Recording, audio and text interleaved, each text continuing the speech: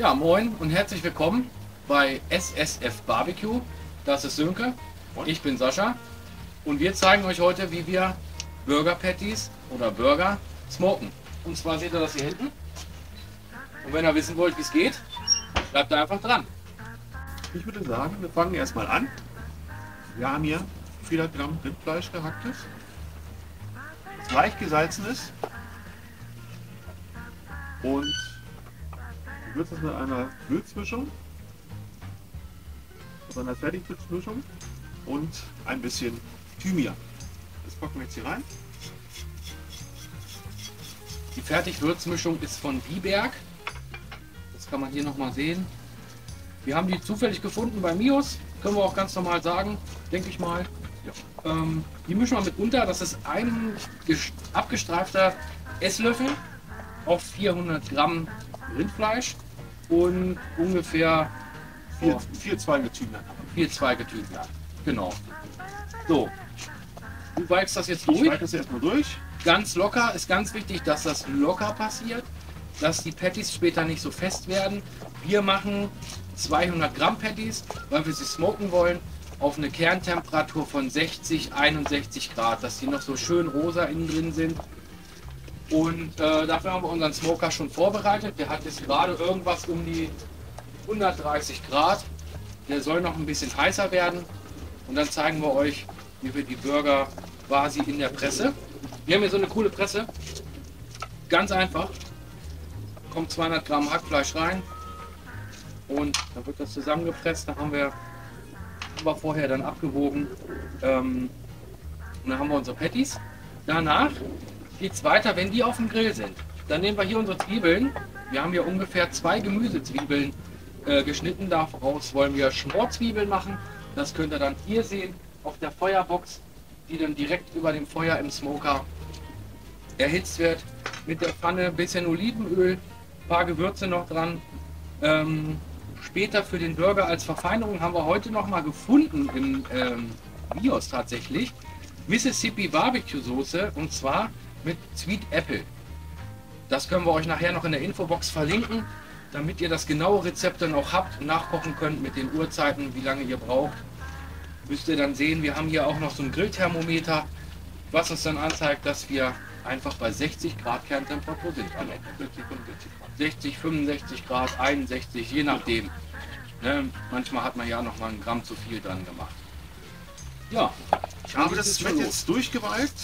Also wir teilen das jetzt quasi ungefähr. Ne? Machen wir diesen großen Schwellepanz von.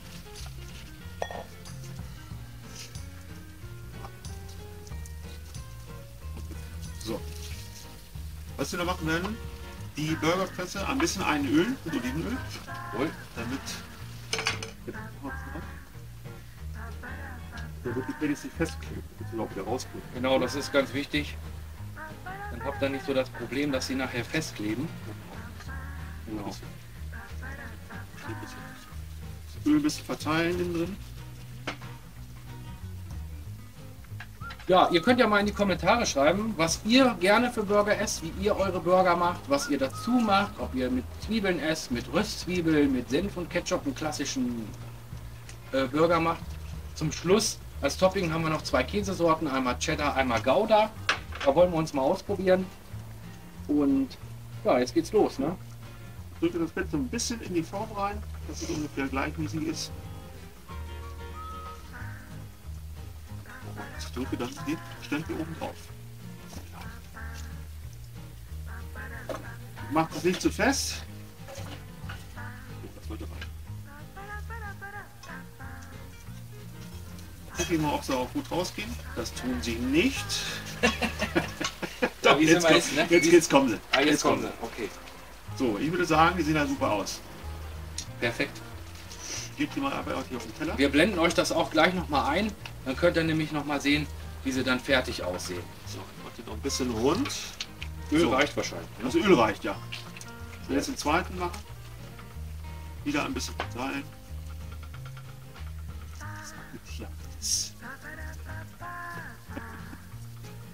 Teller.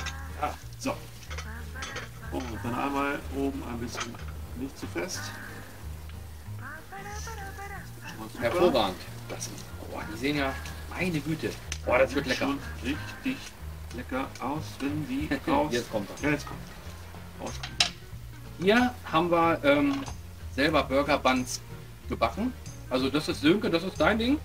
Da, ähm, wenn ihr wissen wollt, wie die gehen und wie die schmecken, dann müsst ihr euch das nachbacken. Dazu machen wir dann noch mal ein Video, das kommt dann Ende der Woche. Wenn wir es schaffen, so schnell wie es geht. Auf jeden Fall haben wir unsere Burger Buns selber gebacken.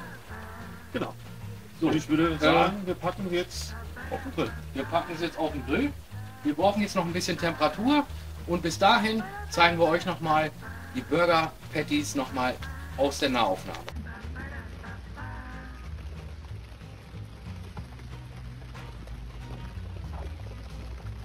So, der erste Patty ist drin. Wir wollen euch noch mal zeigen, wie es geht. Wir blenden das auch gleich noch mal so ein. Der zweite Patty geht jetzt auf Tour. Geht auf Tour. Versuchen das Teil raufzukriegen. Das ist nicht ganz so einfach. So, jetzt habe ich. So, und rein damit.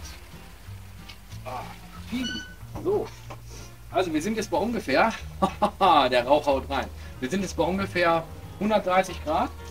Es wird jetzt heißer, wir haben nochmal nachgelegt.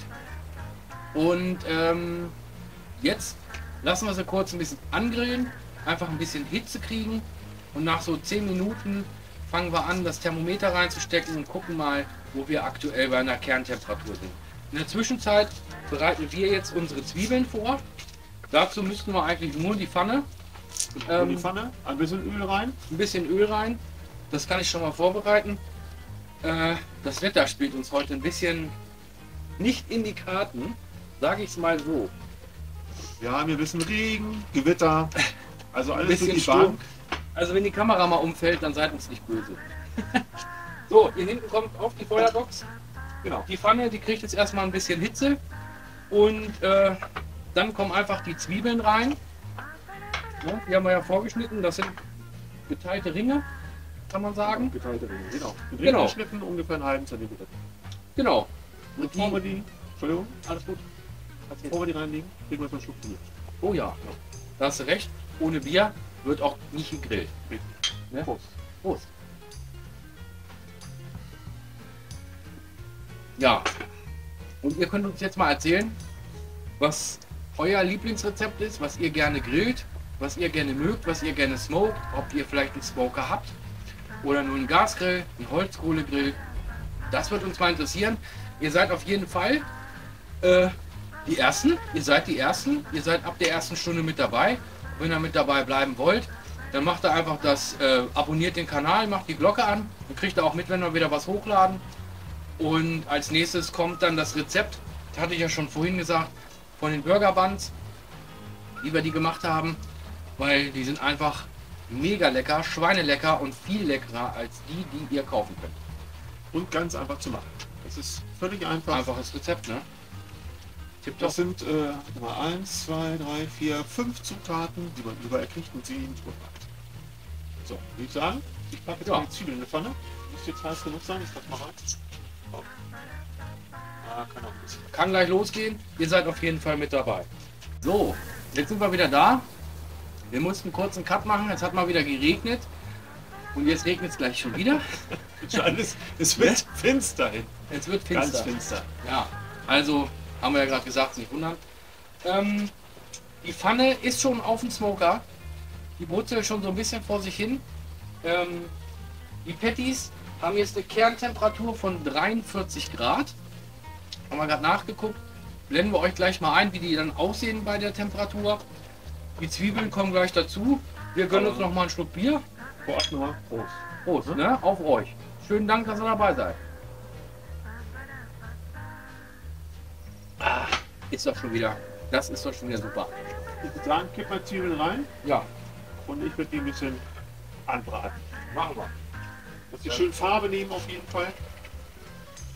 In der Pfanne ist jetzt Olivenöl. Und tauschen wir mal die Plätze durch. In der Pfanne ist jetzt ein bisschen Olivenöl. Sönke schwenkt die jetzt ein bisschen durch, dass die Farbe kriegen. Die Pfanne steht auch einfach nur auf der Feuerbox von dem Stickburner. Also wir feuern das ganze Gerät hier mit Buchenholz. Weil nehmt, tut, tut uns gefallen. Nehmt kein, keine Fichte, keine Tanne, also nicht so ein Blödsinn. Weil durch die ätherischen Öle habt ihr die. Das zieht ins Fleisch ein, es schmeckt absolut scheiße. Das muss man einfach so sagen. Nehmt Buche, nehmt Eiche, nehmt eine Mischung daraus. Esche. Macht, Esche. Macht euch schöne kleine Stückchen. Heizt das Ding gut vor. Ich schätze mal, der hat jetzt ungefähr 250 Grad. Ähm, Kerntemperatur liegt bei 47 Grad. Die Zwiebeln brutzeln vor sich hin. Und ähm, ja, wenn ihr sehen wollt, wie das dann auf dem Teller si- aussieht, dann bleibt ihr einfach dran. Und dann probieren wir das Ganze mal. Ja, vor machen wir nochmal die Burger. Äh, die Patties. Du meinst die, Buns. Die Buns. Die Buns. Oh. Ja, die Buns können wir anschneiden. Ne? Das ist dein Dann Ding. schneiden wir die einmal durch. Dann tauschen wir nochmal und ich wende hier nochmal die Zwiebeln. Ja. Also ganz normal gebacken, bei 200 Grad im Ofen. Und ich schneide jetzt einfach mal. Wir haben jetzt kein äh, normales Weizenmehl genommen, sondern Dinkelmehl. Dass auch die Leute, die glutenunverträglich sind, das auch essen. Und ich finde, die sehen echt gut. Die riechen super. Die sehen einfach super aus. Die sind fantastisch. Schöne Bräune. Auch schon schön fluffig Wahnsinn. die riechen richtig gut. Die Oberseiten werden wir dann gleich noch mal in der Pfanne nachrösten. Dass, wenn wir Barbecue-Soße drauf machen, dass das nicht gleich so ins, ins äh, Brötchen einzieht, in den Bann einzieht und das so matschig macht. Also das wollen wir ein bisschen karamellisieren hier oben. Und da seid ihr auf jeden Fall gleich wieder mit dabei. Die Zwiebeln, Farbe gekriegt. die haben Farbe gekriegt, genau. Die sind jetzt auch gleich fertig. Die können wir dann hier auf den Können einen... wir auf den Teller oder in die Schüssel rein? Nee, das stellen wir einfach auf... Nee, doch, In die Schüssel rein? In die Schüssel, ich sagen. in die Schüssel. In die Schüssel rein. Dann können wir nämlich da die äh, Buns. Nämlich. Wollen wir das hier vorne machen? Ja. Gut. So, die Zwiebeln sind angeröstet. Richtig schön leicht angeröstete Schmorzwiebeln. Nur mit Olivenöl direkt auf dem Feuer gemacht. Und ähm, ich mache mal hier das Thermometer aus. Bisschen ansparen. Feuer ist noch drin. Die Patties können jetzt ganz in Ruhe vor sich hin. Ähm, Genau. guck mal, wie der Käse schmilzt. Guck dir das an.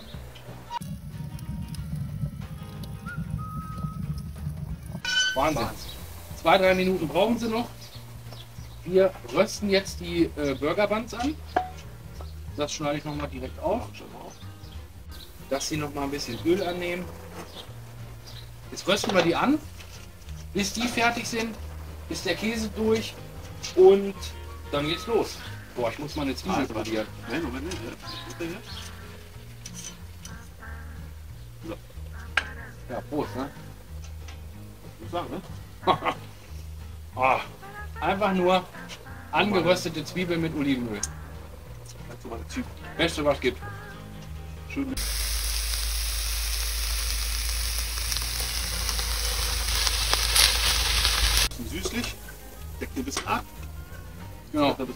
Bleiben warm. Haut hier rein. Ich trinke noch einen Schluck Bier. Und gleich geht's gute wieder weiter. Prost. Prost. Die Burger sind gleich fertig. Dann richten wir an mit Salat. Und dann probieren wir das Ganze. Da bin ich gespannt. Bin auch sehr gespannt. Die Brötchen sind jetzt fertig, ganz leicht angeröstet mit Olivenöl. Ich mache jetzt einen ganz leichten Schuss von dieser Barbecue-Soße drauf. Auf alle vier Hälften, dass wir unten oben was haben. So, ein bisschen im Kringel. Ja, dann würde ich sagen, Ein bisschen Salat drauf. ein bisschen Salat drauf, genau. Zupft den einfach mal so raus hier, so ein bisschen. Genau, wir haben den gekauft mit einem Ballen dran, also nicht abgeschnitten. Das heißt, der bleibt über den Tag noch ein bisschen länger äh, frisch. Viel Salat. Ja gut, von Salat schrumpft der Bizeps, ne? so. Ich würde sagen, Ja. es geht los. ja. Machst du Schau das? Ich hole jetzt runter. Du holst jetzt runter. Ich muss noch kurz eine Handschuhe anziehen. Ja. Meiner ist ja durchgebrannt. Kein Problem. Dann ähm, seid gespannt. Jetzt geht's los. Jetzt wird's lecker. Und ich wette mit dir, wenn wir probieren, regnet's. So, dann. Schaffst du das hier rüber oder soll ich dir Ja, helfen? Küche. Das ist So, muss noch mal mit dem Deckel aufmachen. Mach den Deckel auf? Ein bisschen. Alles klar? So. Absolut perfekt. Einfach runterklappen. Ja, ja. Oha. Dann blende ich euch gleich noch mal ein, Guckt euch das an. wie die von Nahen aussehen. Oh mein Gott.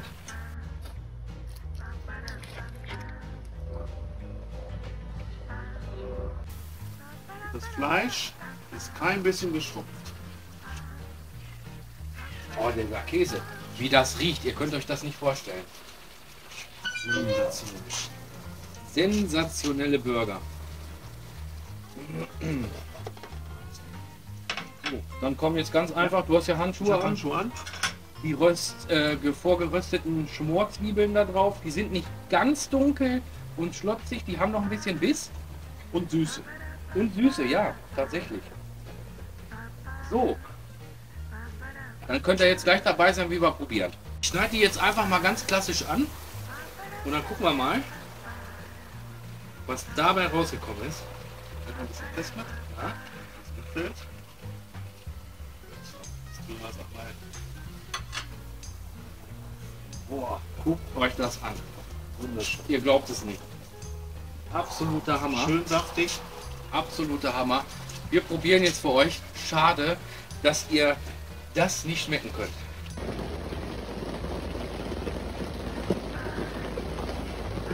Klingt schade, ja. Oha. Zieht euch das rein. Zieht Das euch das rein. großartig. Absoluter Hammer. Also auf euch. Auf euch.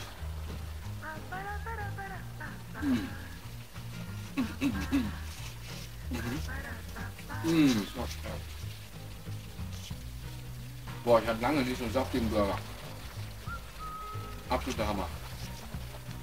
Boah, unglaublich saftig.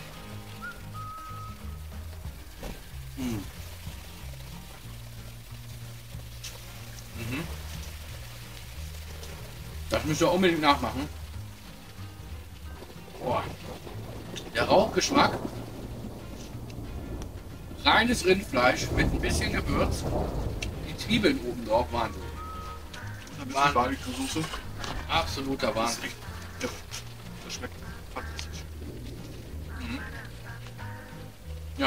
Wir essen jetzt ein bisschen weiter.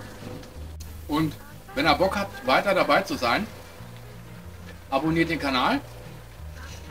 Macht, macht mal die Glocke weg.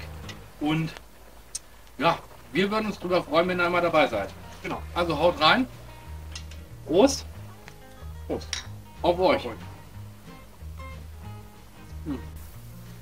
Wahnsinn. Oha, jetzt, jetzt hat's geblitzt. ähm, wir essen auf und sind weg. Genau. Tschüss. Bis dann.